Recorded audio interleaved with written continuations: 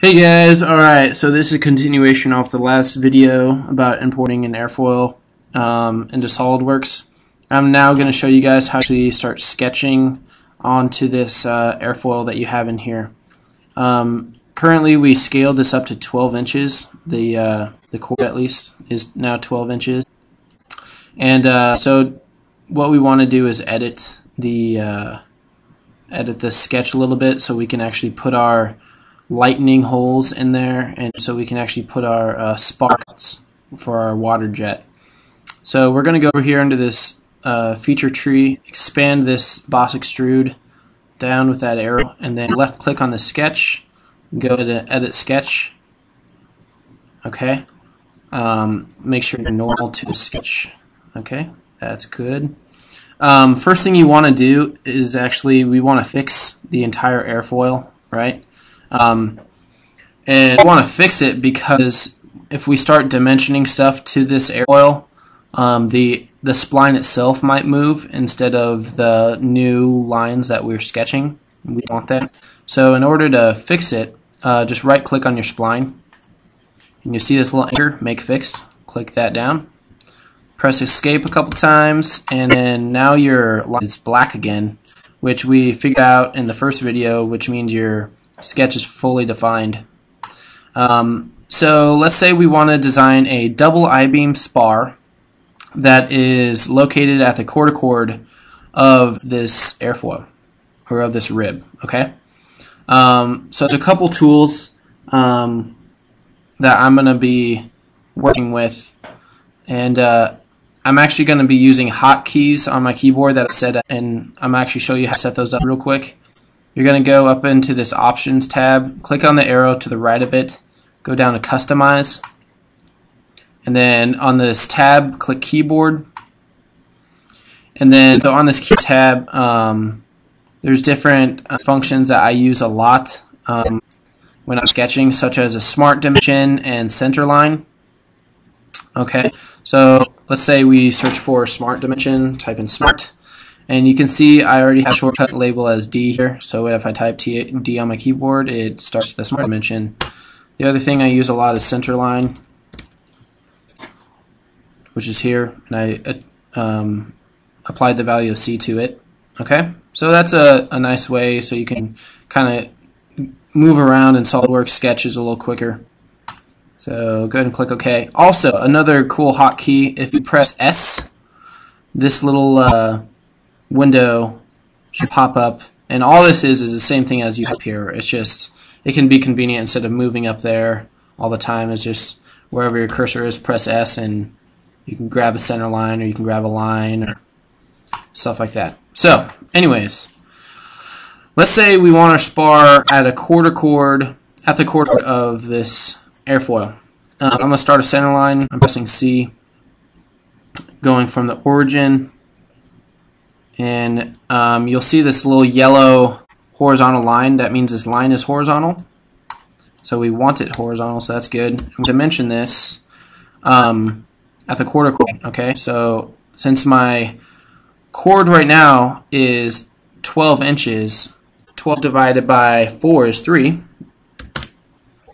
So this uh, distance here represents the quarter chord point. So I'm going to draw another center line vertical Okay? And these are just reference uh, lines right now. That's why they're construction lines.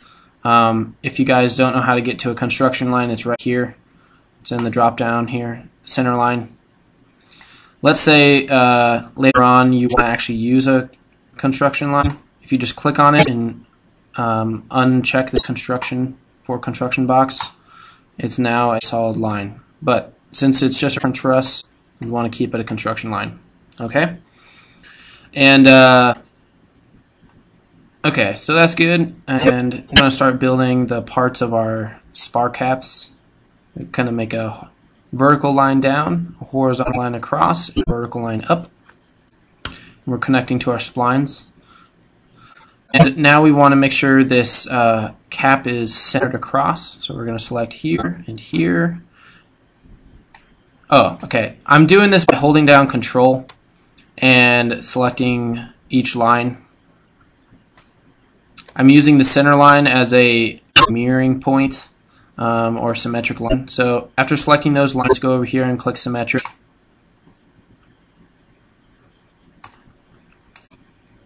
What is going on? Oh yeah, there it goes. So it is now symmetric. Okay, you can see that little symmetric line thing. Awesome. We're going to same thing with the bottom. Vertical lines, horizontal lines. And we're going to make these symmetric about here. Great. Now, we also want this to be exactly on top of this one. Um, so we're going to make this line here collinear with this line. So control select both lines, make them collinear, and do that with both pairs. Okay, great. So, um, this is where our spar cap is going to be notched in right now. It might be hard to visualize this. Um, you'll see in a little bit. But, um, how we're actually going to be building thing. Uh, okay, so let's say we know the thickness of our spar cap is going to be 3 sixteenths. Uh, we're going to do a smart dimension of that section there, 3 divided by 16. We're going to also do it to this bound. 3 divided by 16. Good. Now we're going to need to make some notches for our web that's in our spar. So we're going to go ahead and draw some of these lines here using that quick command S to do that. Now we also want this and this to be symmetric. Okay, so we do that same control, select all three lines, and then make it a symmetric relation. Escape out of those things. And um, we also know that our thickness is still 3 sixteenths. Okay. So that's good. 3 divided by 16. Great. Looking good. So, um, so far that's kind of what our spar is going to interface in here. Um, so as for these heights, so right now this this guy can go up and down. So we need to give that guy dimension, and uh, that dimension is going to come from this distance here, 1.0581. So Control C is to copy it. We're going to delete it actually. Then dimension from this bottom line to there. Paste that number and divide it by 2. Okay. We're going to make this line and this line collinear. Good. And uh, let's say we want the spacing between here and here to be 0.2. Okay, so we're getting a little closer. Um, it's all looking pretty good. Now we're going to start trimming some things out. So go to trim entities, make sure you have trim closest selected, and we're just going to trim out these um, notches there. So, so yeah, that's uh, we're almost there. We just need to trim out the rest of the spline and we will do that now. So if we go back into trim, we select this and select that, and we select this and that. And then, so as you can see, it kind of blew up on. Um, that's because I am having a bunch of this stuff around here. Whoa, don't want to do that. That's because I'm having a lot of this stuff fixed. Um, so we can go ahead and delete some of these mason here, or these relations at least. No, that one. Hmm.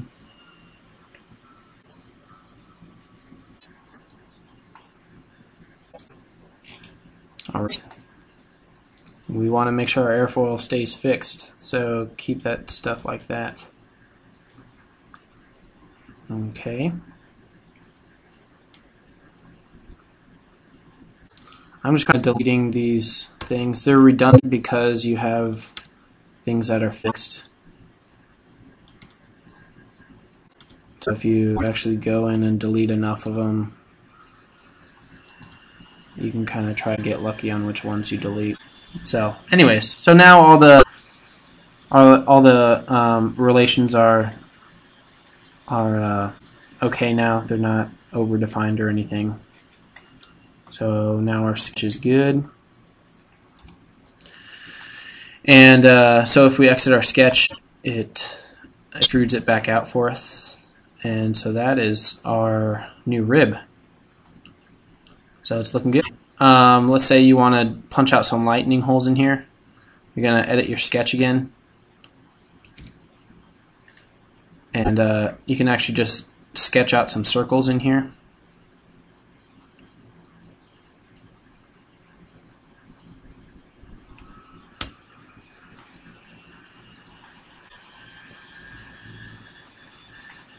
Okay. So that's looking good. We'll do another scroll back here.